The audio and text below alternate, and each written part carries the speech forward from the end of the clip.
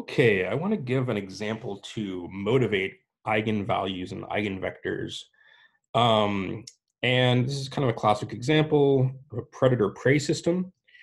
So take a second and read this, um, this text here that I've put. Um, could pause it for a moment if you want, or point is we've got, we're in Eigenalia.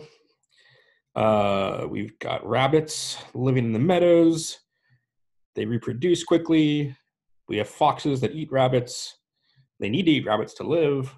Um, and so we start with 30 rabbits, 20 foxes, and we're letting R of n and F of n represent the number of rabbits and foxes respectively. So for example, this says that R of zero is 30 and F of zero is 20. Hence the population after n years. R of n is the number of rabbits after n years. And this thing, this system here is called a discrete dynamical system. Basically, if we know the number of rabbits and foxes at year n, we can find the number of rabbits and foxes at year n plus one. Right, so for example, r of one is four times r of zero, which is 30 minus 2 times f of 0, which is 20.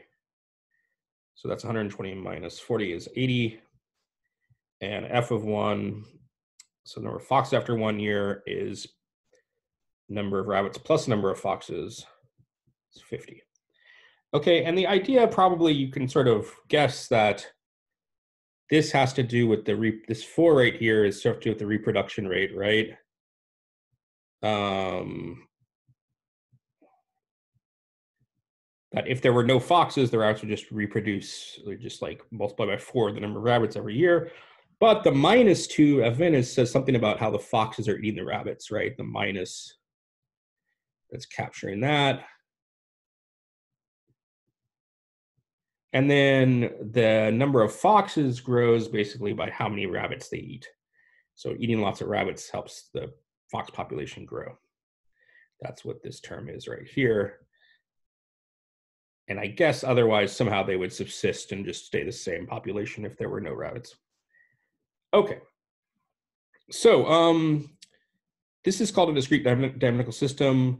The idea is you would like to, it's called discrete because by the way, we're just measuring year by year. We're not measuring like moment to moment. It's not instantaneous. There are dynamical systems that are instantaneous where you use differential equations um, and derivatives, but this is considered discrete because we're just going step by step. Um, and so there's some, you know, uh, coarseness to the model, but it's still a good way to model populations. Um, and we would like to know how many rabbits and foxes there are after five years, 10 years, 100 years, right? So we would want to keep going. But if we did that, we'd sort of have to plug into the equation each time. It's recursively defined, right? So we'd have to plug into the equation each time. Like we could plug 80 and 50 back in for R of 1 and F of 1 to get R of 2 and F of 2, and so on.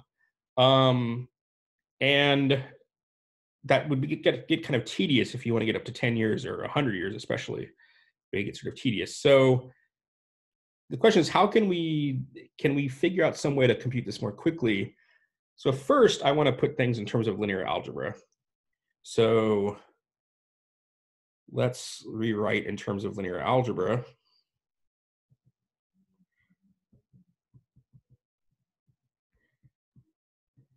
And the first thing I want to do is let's make a population vector. So P of n is going to be the vector um, R of n, F of n. So it's the vector made up of the number of rabbits at year n and the number of foxes at year n. So you call this a population vector. And then um, this system kind of it is linear, right? It's linear in P of n. So in fact, if um, let's just call the matrix A, the matrix, if you look at the coefficients of the equations up above, 4 minus 2, 1, 1, then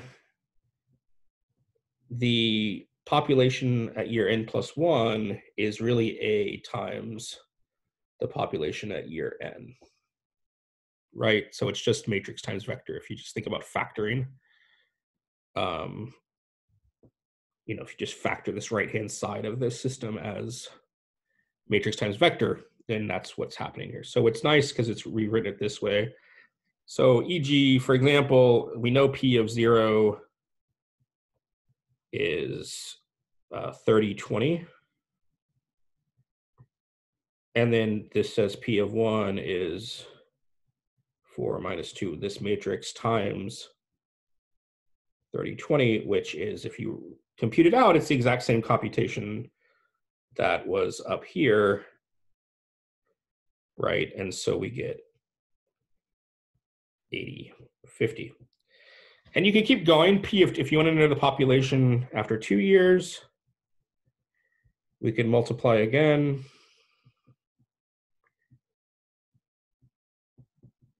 Right, that's A times P of one, which I think is 320 minus 100. I think it's 220 and 80 plus 50, 130. So there's 220 rabbits, 130 foxes.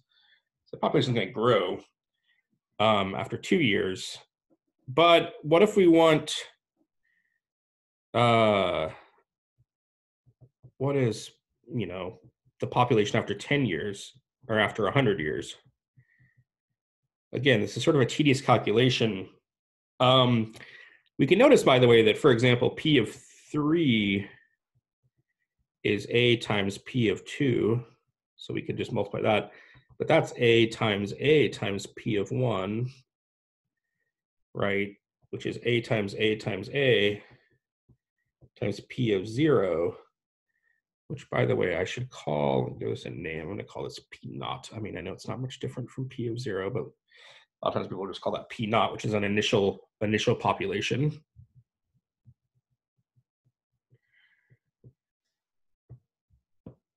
And so you can sort of guess that in general, um, P of n is actually a to the nth. We want to multiply the matrix a times itself n times times P naught. And so computing this is sort of equivalent to computing powers of a matrix, but that's also quite hard. Um, you could check, for example, here that for A, um, you know, if A is this matrix 4 minus 2, 1, 1, then A squared is this product, which, oh, it's uh, probably, if we just my head, 14, uh, negative 10, 5, negative 1, something like that. Let's hope that's right. Uh, I think right. So then I think you could, for example, compute p of 2 a different way. You could also compute this as 14 minus 10, 5 minus 1 times the initial population 30, 20. But notice it just gets computationally tedious. Um, or not just not pleasant. I mean, a computer can do it quickly, but uh, yeah, I think you can check that actually does give the correct answer. So, um, so this is tedious and really just copy. And if you think about doing some real situation where you've got like a 50 by 50 matrix and you're trying to model something in the real world that's delicate, this could get really, could even get computationally difficult if you have a more, uh, a more complicated situation. So how are we going to deal with this? Um, well, I'm going to tell you so. I'm going to pull something out of thin air and it's going to be very nice. And then the point is that that's going to be the thing that we want to find. Those are going to be what's called eigenvalues and eigenvectors. So let's consider the following two vectors. Consider V. I'm going to take the vector 10, 10 and W, the vector 2010. And, you know, again, I'm pulling these out of thin air. So don't uh, feel too weird if you're not sure where these come from. But let's consider um, A times V, right? If we actually multiply our matrix 4 minus 2, 1, 1 times 10, 10, what do we get? Well, we get 40 minus 20, which is 20, and 10 plus 10, which is 20. Oh, we get 20, 20, which is 2v. So AV equals 2 times V. That's kind of nice. In fact, I'll write that over here. A times V equals 2 times V. So it's actually something that's kind of simple. Do the same thing with W. Let's multiply A by W. Take a second and do it. You really should pause the video and do it yourself and then check and see if we got the same thing. But I get 60 and 30, which is 3W. Right? That's three times 2010. That's kind of exciting. Uh, so somehow this multiplying by the matrix, multiplying A by V or W just does something nice. It actually just scales the vector. It doesn't do anything more complicated than scale. Whereas notice when we did the same thing with 3020, this is not, 8050 is not a multiple of 3020, right? We did this right here. That was nothing particularly nice. But this is nice. Um, and also, just because of the way I set this up, notice also um, that P naught, which is 3020, P naught is actually V plus W, right? If you just add V and W together, you get 30, 20. Okay, so now let's think about, so what is, um, let's just say, what is P5? Let's P of five, for example. I claim we can compute this now.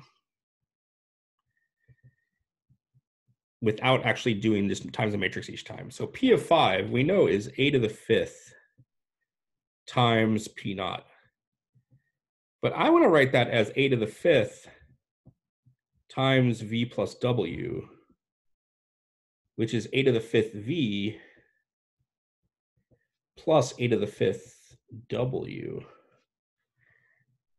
But each time we multiply by a, we just double v. Each time we multiply v by a, we just double v. So if we think about this first term right here, that's the same thing as multiplying multiplying a five times is actually the same thing as multiplying by two five times. So it's actually two to the fifth v. And very similarly, multiplying by w five times is the same as three to the fifth. Multiplying w by a five times is the same thing as multiplying by 3 five times. So that's actually 2 to the fifth v plus 3 to the fifth w. And that's kind of amazing, right? Because we actually get the answer pretty much immediately. So, I mean, the numbers aren't lovely, but um, I didn't have to do any matrix multiplication or anything. We had 32v, which was uh, 1010. And the population grows quickly. So 3 to the fifth is 243. I'm not going to say these numbers are so nice, but sort of interesting that we can actually get, you know, uh, well, oh my God, 320 plus, uh, well, I didn't, yeah, you get something, you get something that's kind of nice, right? I mean, you could do it pretty quickly. Maybe I'll do it real fast. Um, 243 times 20 is 4860 just to consult a calculator to make sure I get this right. Uh, 4860 plus 32 times 10, which is 320. So I get 5180. There. And 320 plus 2430 is 2750. By the way, these rabbits and foxes are reproducing at alarming rates. But so that's so that's amazing, right? So like we didn't actually, without any matrix multiplication or without any matrix times vector, uh, matrix times a matrix, or vector times vector calculation, or sorry, matrix times vector calculations. we were able to actually find this, and we can do the same thing um, for getting p to the 10th or p to the 100th. I mean, the numbers get ridiculous, but you know, if you just want to think about it, p of 100 by the same logic is 2 to the 100th times 1010 plus 3 to the 100th times 2010. And so it just seems like it would have been insane to try to figure that out um, just by multiplying by a over and over again. And you know, this is a perfectly good way to express it. So knowing, having found these two random, these two vectors v and w actually solved the problem for us. It actually let us find the population going out sort of arbitrarily far if we want, right? I mean, the numbers get more and more ridiculous where it's not really, um, it doesn't really make physical sense anymore. But maybe the meadows of Eigenalea go on forever or something, and there's plenty of grass and plenty of everything. But um, but yeah, so this is this should be amazing. Uh, I do want to say, you know, so okay, the point is that um, that V and W were very helpful. And remember, we had AV equals 2V. So these were special vectors that only scaled the input. It didn't, you know, most times when you multiply a matrix times vector, you sort of, the vector ends up pointing in some other direction. But these just scale, they, they scale their inputs. So A scales V and W,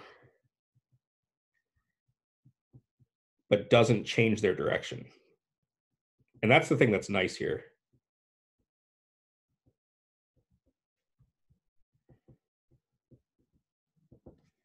That's what ends up making this computationally nice. And there's a name for this. So we call, let me just give you this, uh, yeah, this as name. So we call V an eigenvector for A. And we also want to specify that what it does is it doubles. So it's with eigenvalue so the scaling factor is called the eigenvalue 2. And similarly, W is an eigenvector for A with eigenvalue 3.